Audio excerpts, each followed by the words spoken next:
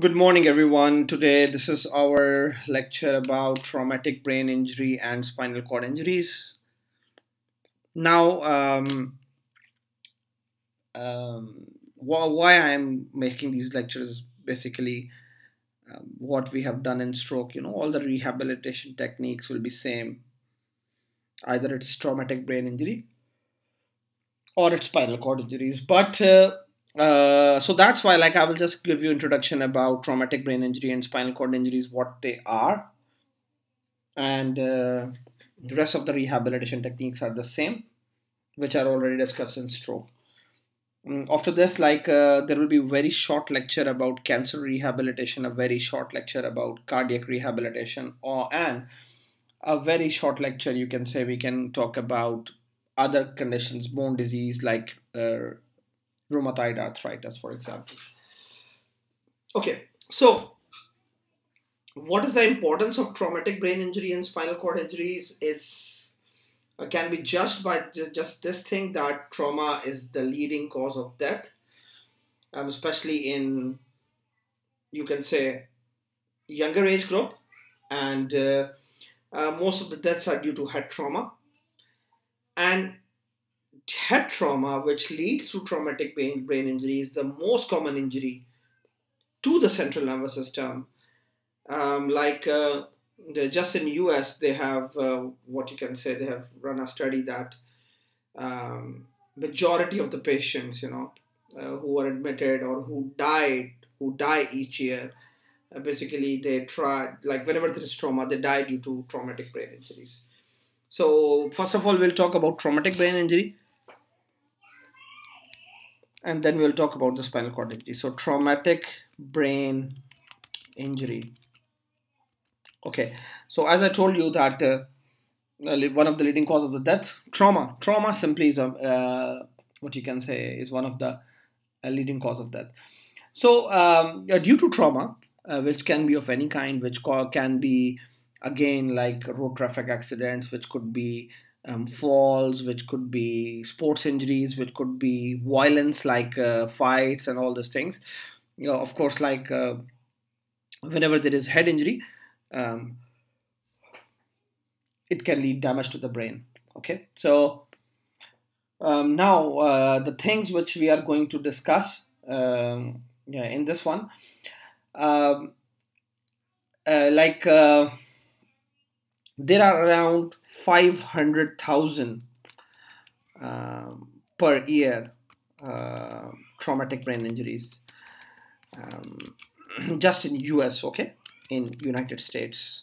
So like of course like the book I'm using so they, they give the data of uh, uh, United States so that's why I'm talking about that. Okay so now um, and out of these of course like depending on the severity many people they die. Uh, especially like those people die who have like severe type of traumatic brain injury or moderate type mild type you know the mortality is less. Um, so uh, like uh, um, now few things which i will tell you. For example you know males are more commonly uh, susceptible or you can say um, what you can say more more commonly get a TBI or traumatic brain injury than females, right? So this thing,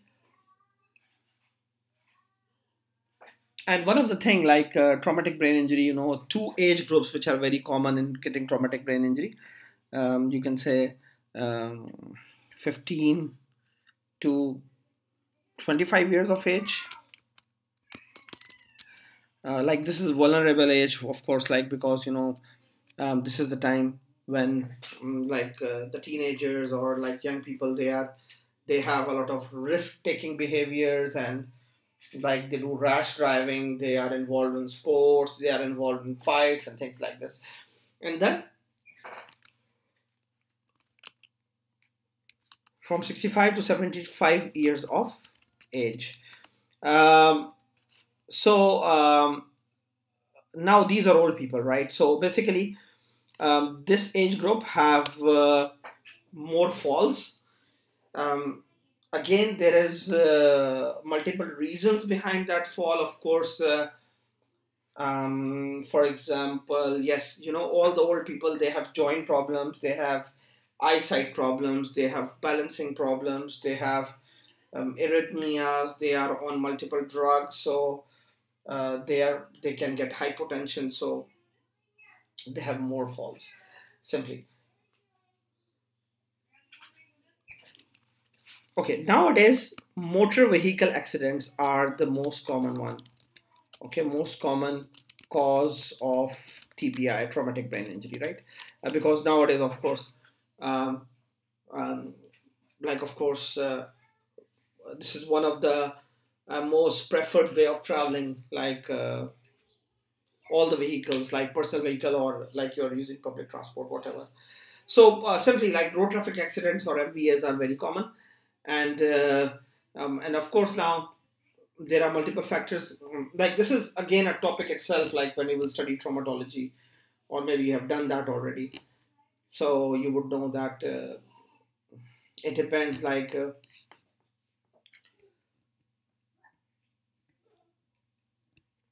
what was the type of vehicle, like uh, uh motorbike or car. Uh, either the pa- the patient was or the person was using any seat belts or either there was any ejection from the car and things like this okay so all these things so uh, now of course uh, this is very common cause of TBI 50% of the cases are basically motor vehicle accidents and uh, the most common cause of death in MVAs is like someone someone get ejected from the car. And the second common one is violence okay? Um, violence is the second most common. Violence okay is the second uh, most common one most common cause right? Of TBI in young people of course. And uh, there is a clear uh, association of alcohol with traumatic brain injury because many people who basically abuse alcohol um, they they are more involved in risk taking in fights and things like this right? So all the things are important. So um, this is what you can say a very brief introduction about uh, this TBI. Uh, now, uh, what we are going to do is uh, uh, just to tell you what are the uh, types of TBI, okay, um, types of um, tra- traumatic brain injury, okay. So now, okay, so depending on what was the mode of the injury, it could be a direct blow, okay, direct blow to the head. Uh, for example, someone who who fall from some height, like from second story, third story, fourth story, uh, like this, and not just in fights, of course. Like many workers, they get fall. Uh, one of the way is acceleration, um, acceleration, uh, deceleration, uh, deceleration injuries, right?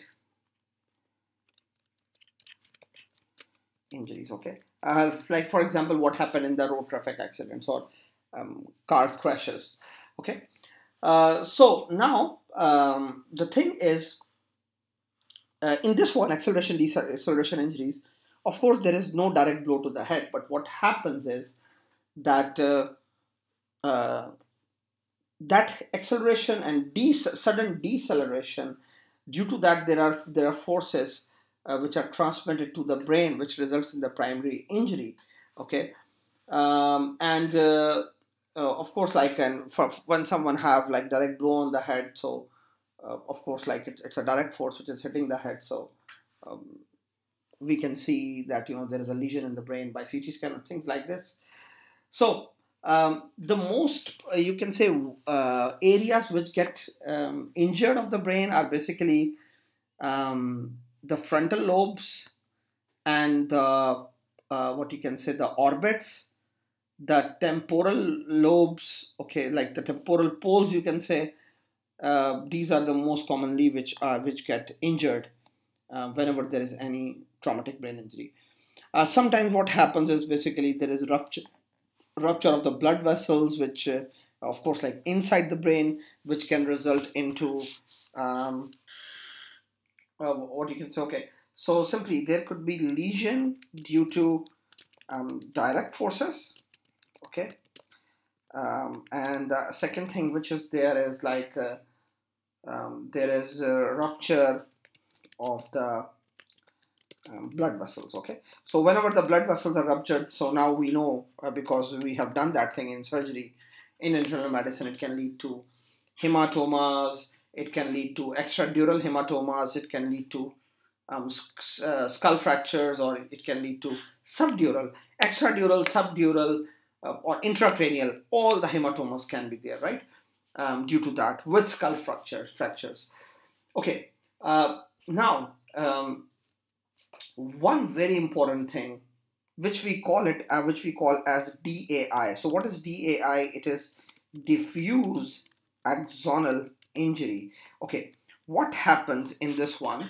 Uh, like if you know what is axon and if you know what is white matter and what is gray matter in the in the brain. So whenever there is any rotational force okay um, this that rotational force can basically damage or can cause some injury in the white matter which can lead to petechials bleeding. You know petechias are small spots of bleedings. So basically whenever there is uh, due to this rotational forces there is damage to the white matter um, which can lead to petechial hemorrhages or petechial ham bleeding in the brain uh, it can cause basically uh, what we say as axonal um, axonal disruption okay? And as we know like what are axons? Axons are the connections okay? So what we whenever there is axonal disruption we call it as diffuse axonal injury okay? So uh, this this thing okay not just this thing whenever there is any damage to the brain no matter it's by the direct flow blow it's by the acceleration deceleration injuries it is a lesion it's a rupture of the blood vessel it's diffuse axonal injury it can lead to um, a lot of changes or you can say inflammatory changes okay? Um, in the brain okay? Uh, okay what are those inflammatory changes in the brain? Uh, for example uh, um, there is uh, um, uh, what you can say some destructive changes goes uh, like starts on for example um, ionized calcium started coming at the area of injury. And this calcium basically activates the um, enzymes which uh, results in damaging the structural proteins okay? Uh, and like it activates phospholipases and that break down cell membrane uh, which basically leads to um, oxygen free radicals and superoxide radicals okay? And uh, due to that thing uh, what happens is uh, all these things basically cause what? Uh, it can cause ischemia okay and spasm and edema okay? So you can say like all these are the primary things which are which are occurring and this thing which is a secondary like which causes secondary damage to the brain is basically primary to these things okay? Like these things can activate the inflammatory changes in the brain which can lead to ischemia which can lead to spasm and which can lead to edema okay? So all these things basically occur in tbi so now uh, as i told you like you know in in young people the uh, what you can say the mechanism of injury is different. In the adults the mechanism of the injury injury is diff- different. So I remember about the primary damage we call it as primary injury or primary damage okay and remember about the secondary changes or the secondary injuries okay? These are the secondary one. So it which can lead to edema spasm or ischemia. So uh, of course like i am t- telling you in a very short way but uh, yeah, of course like these changes can be appreciated on ct scan okay? All these things like the, the whenever there is um, anything any inflammatory process going on in the brain any edema all the things can be appreciated on the ct scan. Okay then of course we uh, like this one can, okay, can also be classified as you can say focal injury. Okay these are focal injuries. And this is these are generalized injuries right? So uh, for example, focal injuries uh, like uh, focal ischemia, a hemorrhage is a focal injury, no matter, matter it's epidural hematoma, it's subdural hematoma, it's a hemorrhage, whatever. Uh, so we call it as focal injuries. Diffuse injuries or generalized injuries, like when like much of the brain things are involved. So okay, DAI or diffuse axonal injury could be a diffuse type of injury as well, right? So simply all these things are can happen. Okay, now um, one of the thing which is very important about this one is um, what is the outcome or what is the um, prognosis okay prognosis of uh, uh, TBI or traumatic brain injury okay now uh, basically there is a lot of factors which basically define um, what will be the outcome of this injury or what will be the mortality after the injury. For example, after the brain injury, okay, what happens is uh, they check the blood glucose levels, they check the intracranial pressure, they keep on checking the pupils, right? But all these things basically don't tell us about what will be the functional outcome. Okay, one of the thing which is very, very important, very famous and I always ask the patients, like all the sorry, the students, to learn about this thing, which is GCS, that is Glasgow Coma Scale, right? So you must master Glasgow Coma Scale.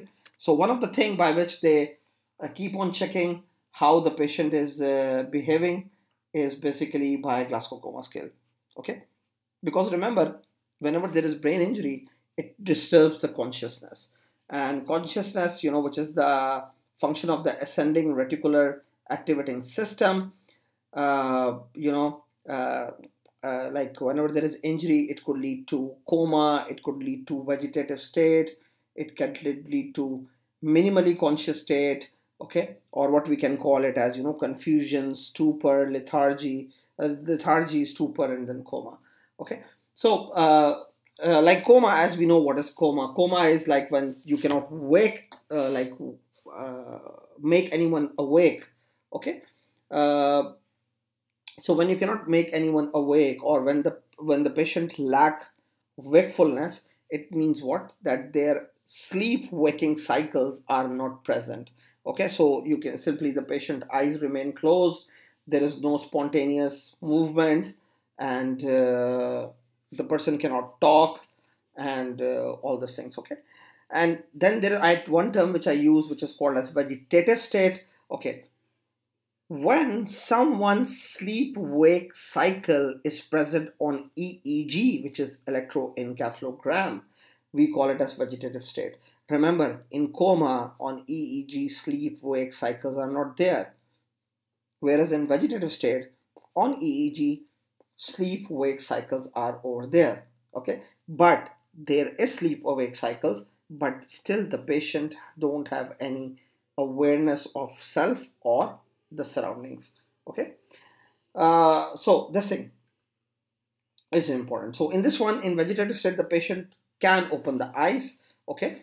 But again like uh, there is no they don't have they are, they are not aware about self and the surrounding.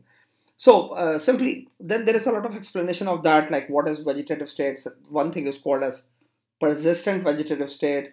When someone have more than one month and something is called as permanent vegetative state when this condition is present for more than three months okay after a non-traumatic brain injury.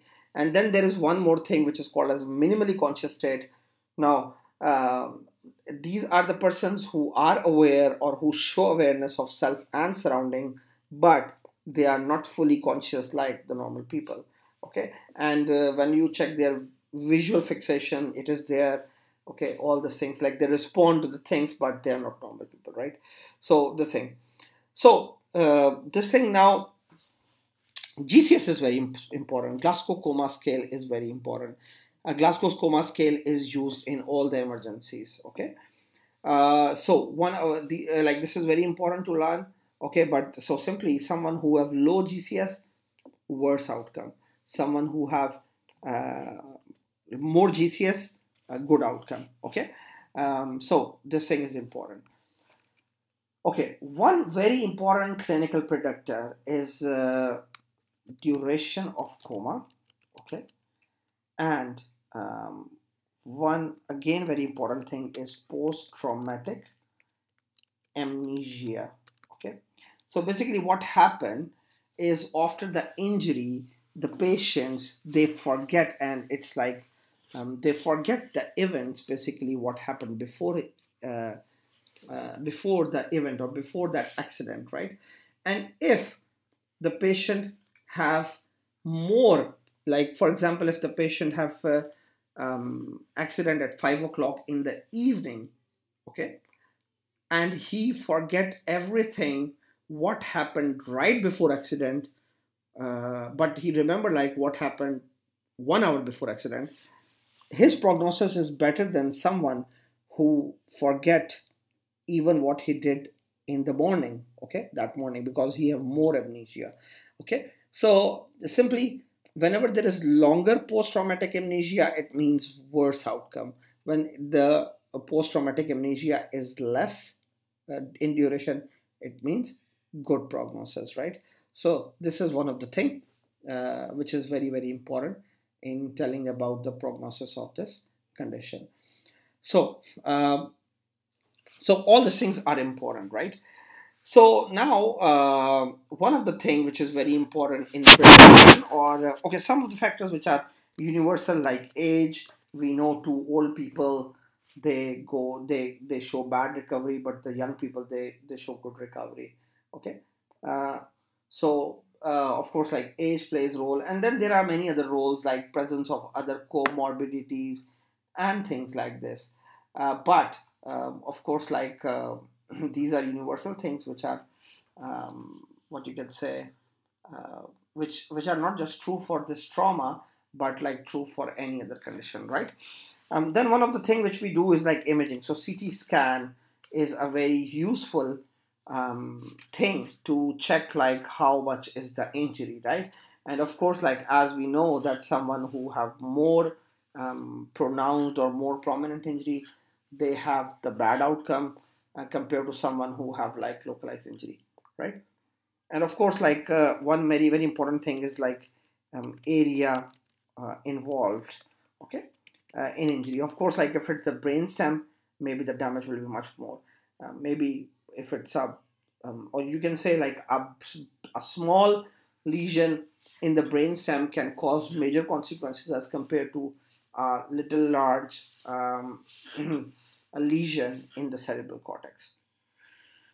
Okay, so this thing, so this is going to define what you can say the outcome.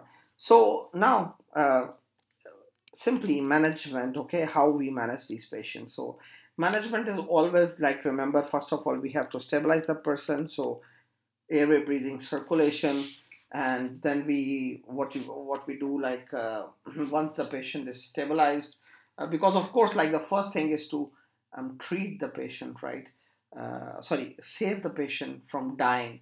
So of course like you will do all the emergency procedures you will provide them with iv fluids you will do abc um, so simply uh, all the things which we do in other type of emergencies to um, save the patient like or to avoid all those things which basically can kill the patient um, of course like those things which can be done okay? Uh, and of course like then we can go for examination we can do gcs we can do ct scan we can check the age we can check the pupillary light reflex we can check for example the caloric testing um, neurological examination and we can also check like either its post-traumatic amnesia length is more or less right? Um, so of course like based on these things you can decide like either um, the patient to have uh, um, like what is the conscious level of patient? Either it's a, he's in vegetative state either in coma either like minimally conscious state. So things like this right? Okay. Uh, one of the thing which we can do again in that case is FIM score which I already talk about what is FIM score. It is functional independence measure and uh, it have 18 items and seven levels to assess the physical and cognitive function. Okay? And uh, of course like what is what are these 18 items? Like um, you can say like you know there are motor items like uh, eating rooming bathing uh, bladder control bowel control how much the person is mobile there is cognitive things like expressions comprehension reading writing and all those things you know they are there.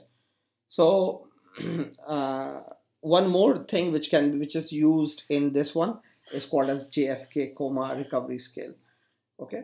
So that is again like i, I don't think so like you have to go in um, more detail of that. So simply we will do abcs um, we will go for all the um, baseline investigations okay doing blood doing image imagings which are which are done all the patients and all the patient of course.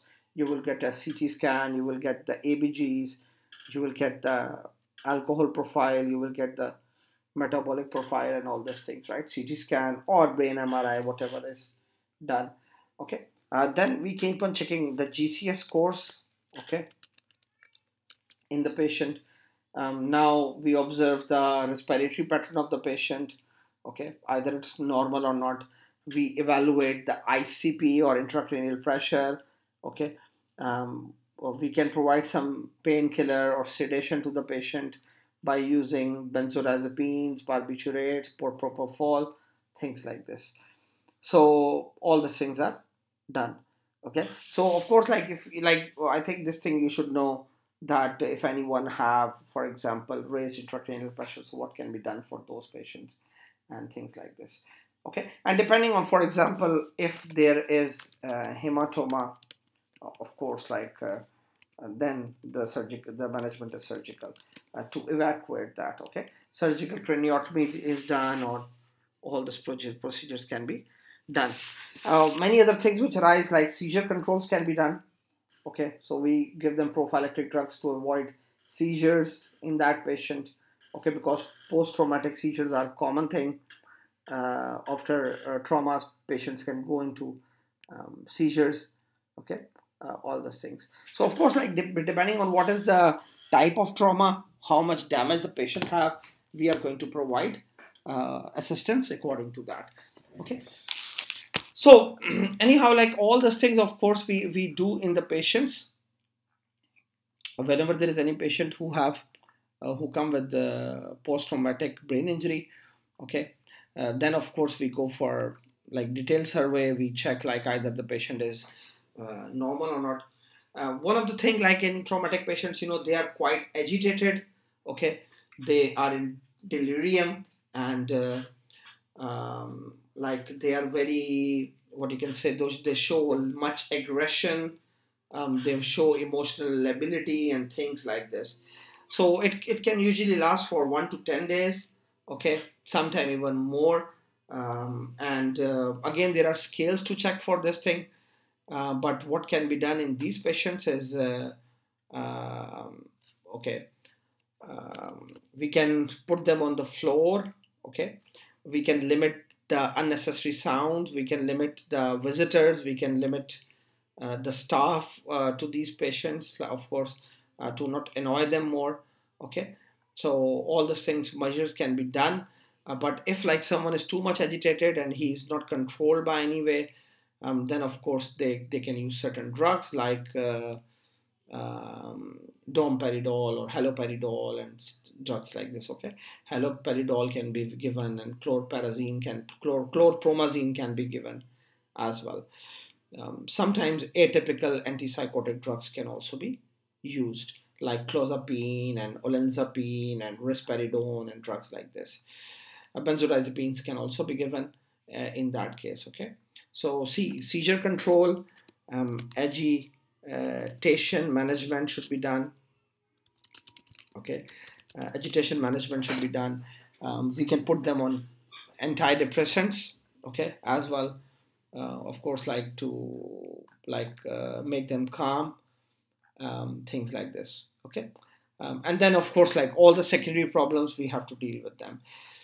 So anyhow, like all these things uh, um, are what you can say uh, can happen in like traumatic brain injury um, and rest are all the later consequences of that okay so uh, simply uh, we uh, differentiate tbi or traumatic brain injury uh, into mild, moderate, and severe.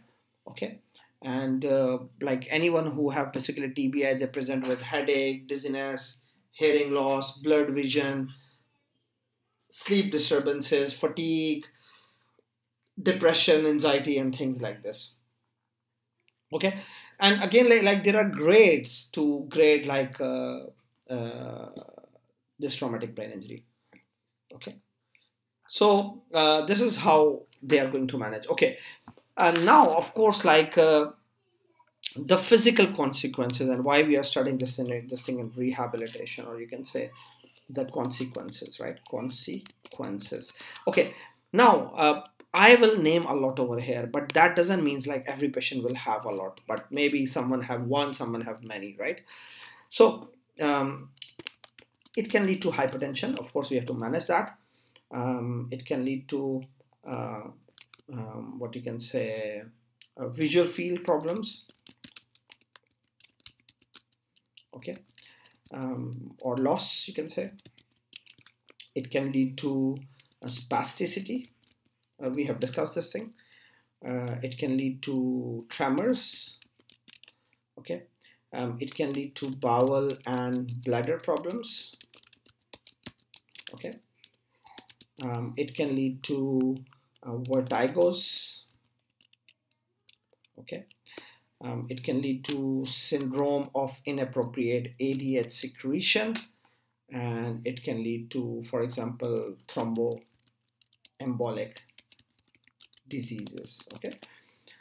So of course like all the things are done and uh, rest of course uh, what you have done in um, what you can say um, in uh, stroke all this thing all those things can be applied over here as well. Okay after that one of the thing is spinal cord injuries okay? Uh, which are also written as SCIs okay? SCIs okay SCI or spinal cord injury okay. Um, now this one is uh, again um, uh, spinal cord injury of course um, uh, you can say like the mechanism of getting the spinal cord injuries is a little different than what we can get as like brain injury because of course like uh, um, here the the head should be on the back okay. So um, now, this is also very common, and again, nowadays, uh, motor vehicle accidents, um, road traffic accidents, you know, uh, they are very common. And then there is falls, then there is violence, okay, um, sports, okay, um, and of, of course, falls can be in young and elderly, right? So, uh, again, like these are the ways uh, uh, which by which we can get uh, spinal cord injury. So um, now um, the important thing about this one and why I'm teaching you this thing because the consequences will be the same as we know all the um, neurons which are coming from the brain they are passing like to the rest of the body to the rest of the body through the spinal cord right okay so what happens is um, spinal cord injury, uh, uh, like uh, it can lead to uh, neurological type of injury, right? Of course, when the um, uh, like the spinal cord is damaged, of course, like there will be some neurological consequences of that. Okay, what are the causes of death in um, SCI?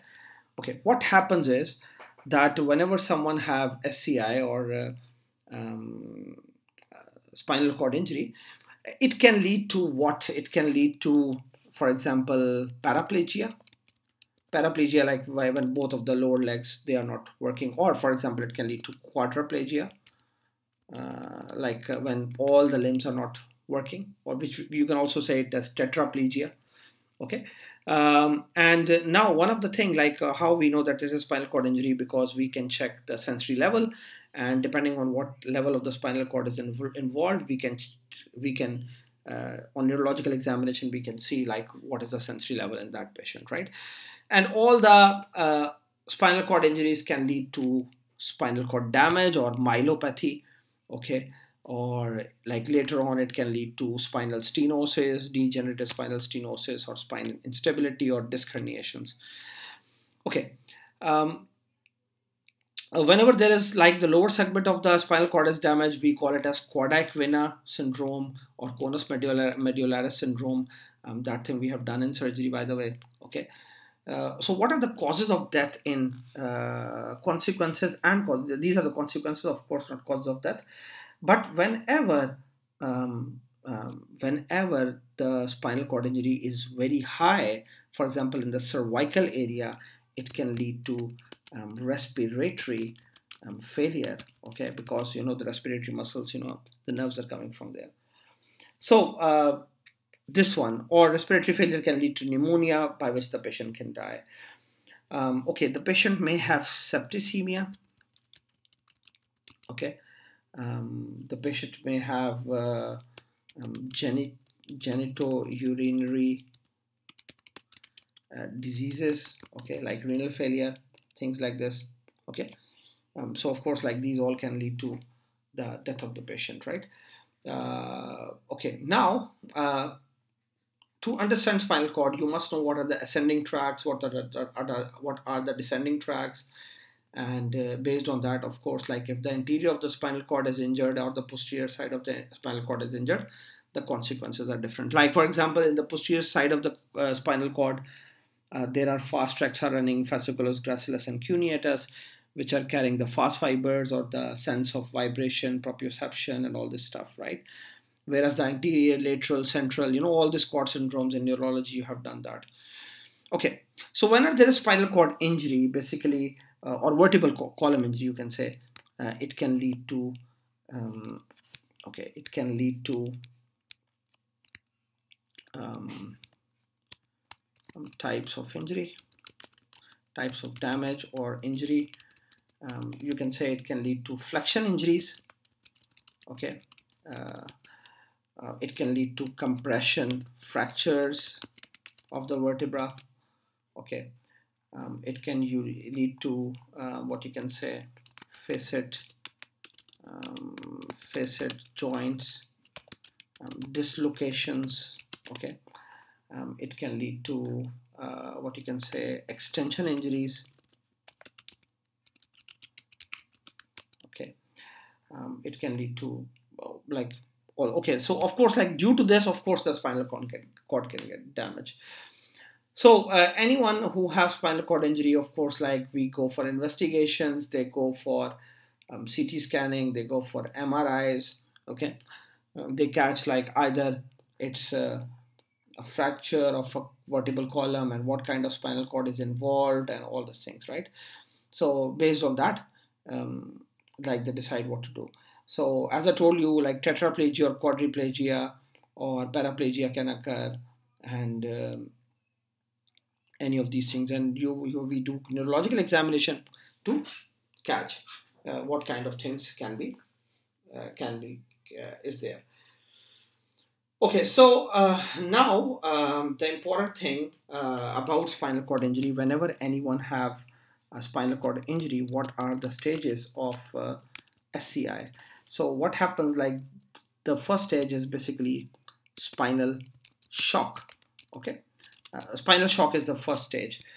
Uh, what happens like once uh, the spinal cord get injury, there is loss of all the spinal reflexes. So basically there is loss of the motor function, the loss of the sensations, the loss of the bladder control, the loss of the bowel controls, the muscles become flaccid, there is areflexia or hyperreflexia, and uh, there is what you can say there is loss of sweating, there is loss of vasomotor tone. Why? Because you know even the autonomic fibers are carried in the spinal cord. So this is the first stage, okay, and uh, the second stage is basically stage of increased um, reflex activity okay? Um, in the brain i was talking about the same thing you know whenever there is someone. So once they like the spinal shock is resolved you know uh, what happens like the reflex activities it started coming back and right now at this stage they are more hyper okay? So there is hyperreflexia and it can lead to rigidity okay and uh, even like the bowel and the bladder reflex comes back or you can say the person gets back the control of the bowel. But like there could be detrusor instability. So uh, this thing these are the stages. And that conus medullaris syndrome or equina syndrome that completely depends where is the injury. Okay because when the injury is like at L1 L2 level it can lead to conus medullaris syndrome. Whenever the injury is below L2 we call it as equina syndrome right? So um, now um, depending on whatever it is uh, there is a very easy way um, to differentiate between these two okay? Um, remember like there is saddle type of sensation loss okay? Um, and uh, there is uh, bowel bladder and sexual functions. Uh, sexual dysfunction in the conus medullaris syndrome. Whereas whereas in the equina syndrome the bowel and bladder they are spared. Okay? So this is the main difference. Okay? So in these two.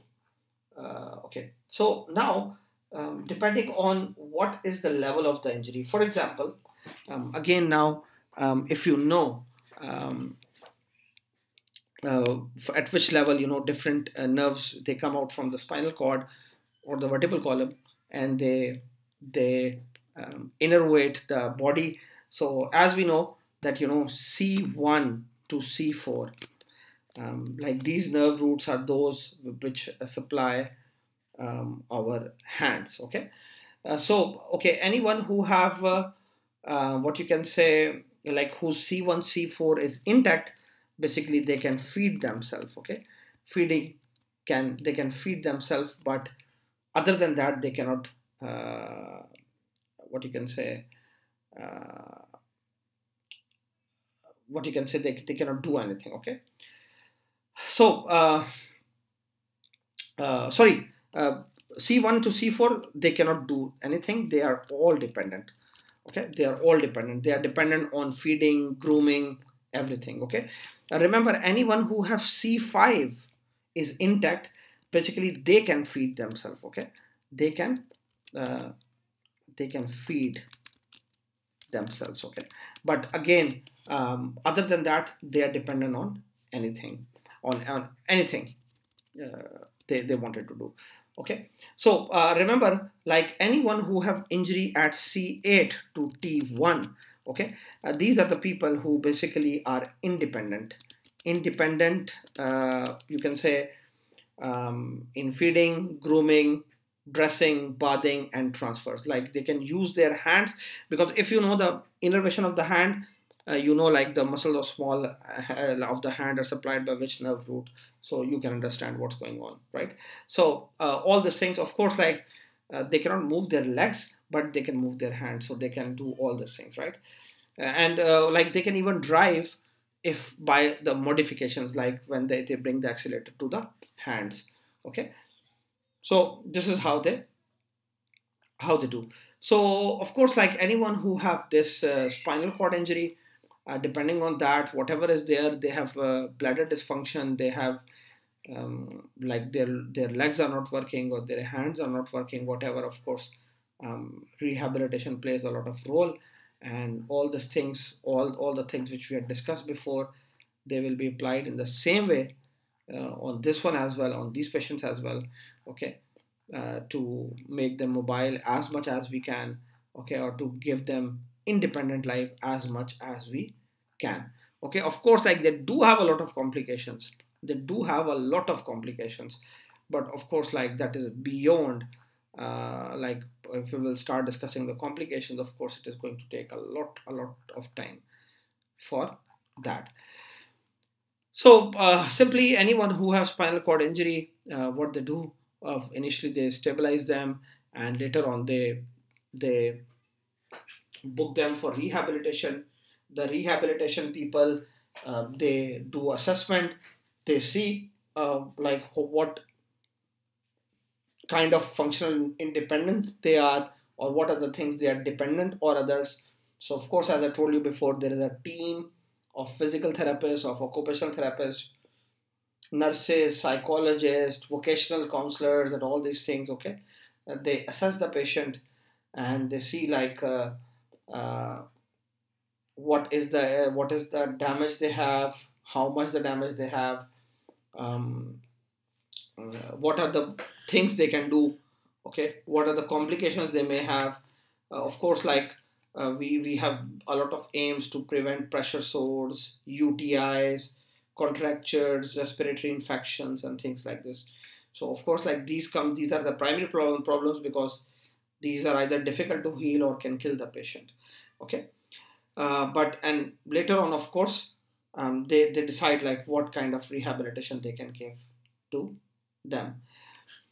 So uh, uh, there is of course some recovery. For example someone uh, who have injury at level c5 like after some time or within six months they gain a lot of functions of c6 as well right?